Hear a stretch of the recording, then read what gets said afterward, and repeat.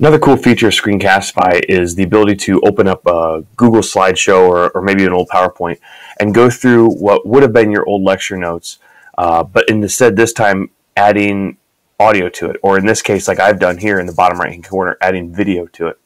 Uh, you can put the video recording part in, in, any of the four corners that you want to. Um, I chose the bottom right so it stays out of the way of all of my information on my slides. Um, but it's a pretty cool feature. You just start this up and you can start talking and start going through and reading through, and, and it gives you an opportunity to maybe explain some things in more detail as you click through your slides and as you move through. Um, it also allows students time to maybe pause and it gives them a little bit more time to write down any notes they might be taking, gives them a little bit more time to think about what they what they're hearing. They can rewind and listen to a part again so they have better understanding.